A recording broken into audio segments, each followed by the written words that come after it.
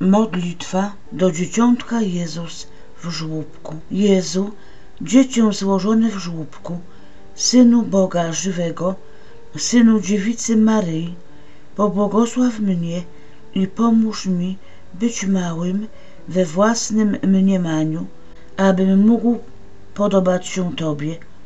Uczyń mnie małym jak kropla wody, abym się zagubił w oceanie Twojej miłości.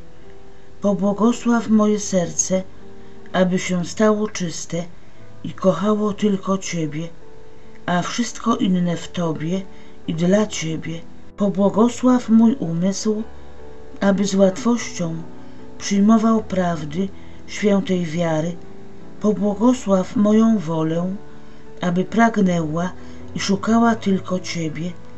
Oddaję Ci moje serce na Twoje mieszkanie. Weź je na własność, niech zawsze należy do Ciebie w życiu i po śmierci. Amen.